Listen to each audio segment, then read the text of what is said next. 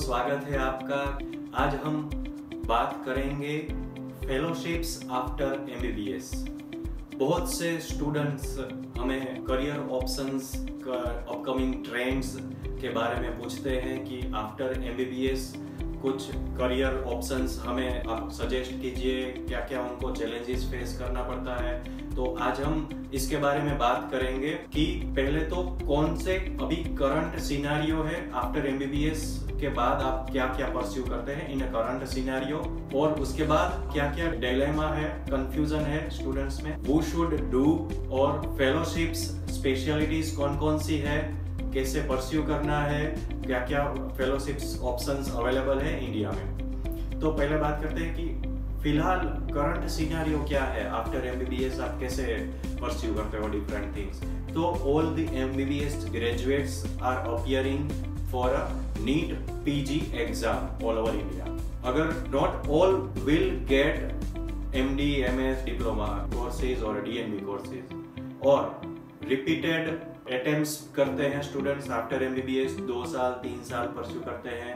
कुछ लोगों को उसमें मिल जाता है। बहुत से स्टूडेंट्स ऐसे होते हैं जो क्लियर नहीं कर पाते या उनका एडमिशन नहीं होता है।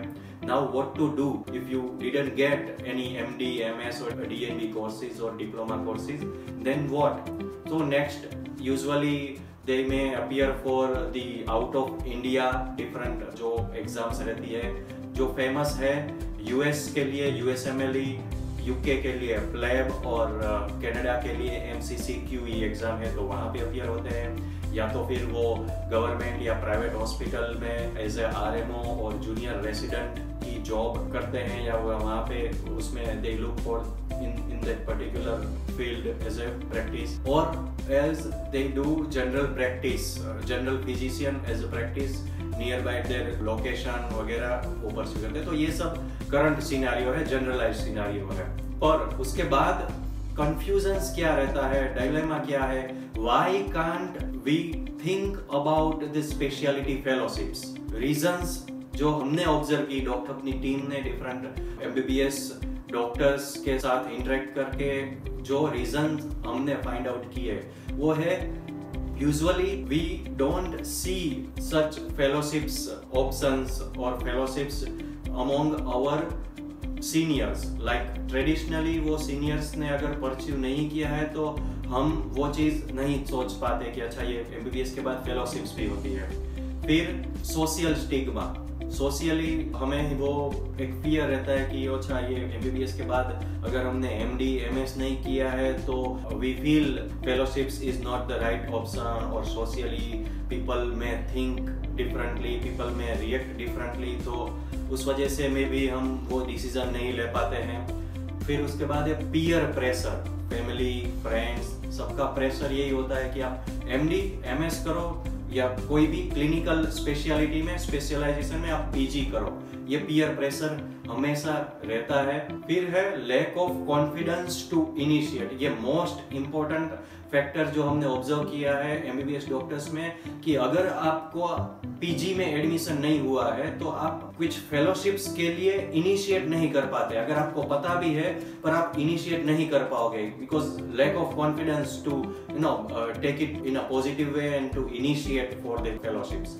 और उसके बाद है फीलिंग इंफीरियरिटी कुछ स्टूडेंट्स ये फील करते हैं कि एमबीबीएस के बाद फेलोशिप्स करना मतलब it's an inferior career options और वहाँ पे आपको वो एक रिकॉग्निशन फ्रेटर्निटी में नहीं मिलेगी जो पीजी करने के बाद मिलेगी। ये भी एक इंफीरियरिटी फीलिंग्स रहती है।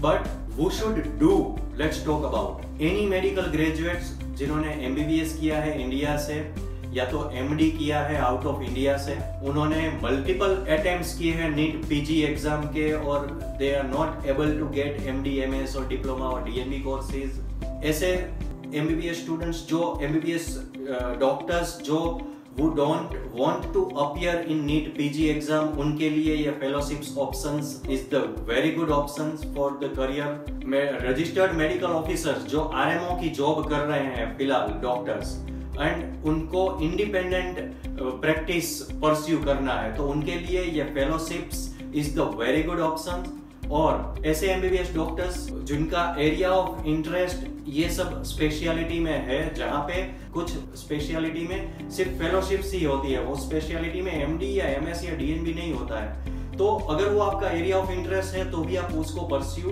करना चाहिए आपको। तो बात करते हैं कौन कौन सी फेलोशिप स्पेशलिटीज है for the medical graduates first critical care medicine diabetology emergency medicine clinical embryology occupational medicine sports medicine non invasive cardiology clinical sonography palliative medicine ये सारे कुछ फेलोशिप्स है जहाँ पे after MBBS after medical graduation there are very good clinical scopes की आपको वहाँ पे आप इंडिपेंडेंट प्रैक्टिस भी कर सकते हैं, आपको हॉस्पिटल्स में अच्छे पोजीशन पे जॉब्स भी अवेलेबल है और डॉक्टर्स की टीम में आपको अपॉर्चुनिटी भी मिलेगी एज ए इंडिपेंडेंट प्रैक्टिस करने तो now how to pursue such fellowships First is you should identify your area of interest. So research on the different specialities जो हमने अभी बात की, उसके ऊपर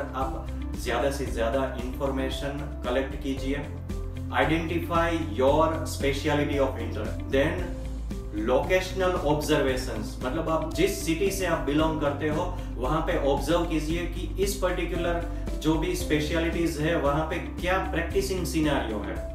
और क्या करियर अपॉर्चुनिटीज़ है प्रैक्टिसिंग अपॉर्चुनिटीज़ आपको फाइंड कर सकते हो आप वहाँ पे उस पर्टिकुलर लोकेशन पे, जहाँ पे उस सिटी में आपको प्रैक्टिस इस्टेब्लिश करनी है। Meet such people who have done such fellowships or who are practicing such specialities आप उनको मिलिए उनसे इंटरेक्ट कीजिए उनसे जानने की कोशिश कीजिए कि क्या उन्होंने फेस किया था कैसी प्रैक्टिस सिनेरियो है तो आपको ज़्यादा कॉन्फिडेंट मिलेगा आप, आप ज़्यादा अच्छे तरीके से डिसीज़न ले पाएँगे।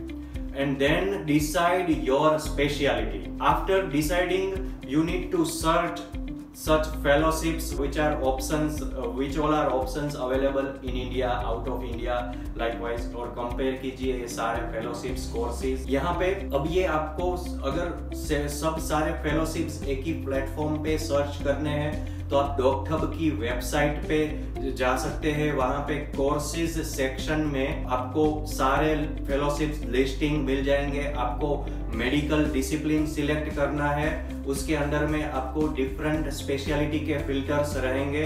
ये सारे स्पेशलिटी इसके अलावा भी बहुत सारे स्पेशलिटीज है जिसपे आप फ़िल्टर अप्लाई करके पूरा जो भी इंस्टीट्यूट में ये कोर्सेज और स्पेशलिटी फेलोशिप्स अवेलेबल है, उनकी डिटेल्स आपको मिल जाएँगी।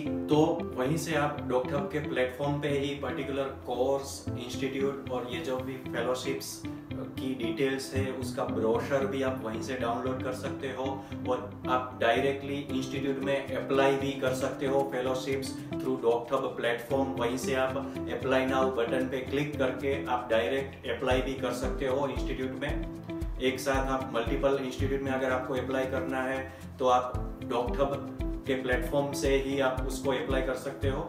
आगे हम इसी तरह से health care career options opportunities challenges और अपकमिंग ट्रेंड्स के बारे में बात करते रहेंगे। Please like share and subscribe to a doctor channel bell icon को ज़रूर दबा दीजिए ताकि आपको नेक्स्ट वीडियो का नोटिफिकेशन मिलता रहिए और हमें प्लीज़ कमेंट में ये लिख के बताएँ कि कौन सी स्पेशलिटी आज हमने जो बा, बात की है कौन सी स्पेशलिटी के बारे में आपको डिटेल में जानना है क्या क्या उस स्पेशलिटी में प्रैक्टिसिंग अपॉर्चुनिटीज़ है और उसके बारे में डिटेल में हम बात करेंगे तो thank you thank you very much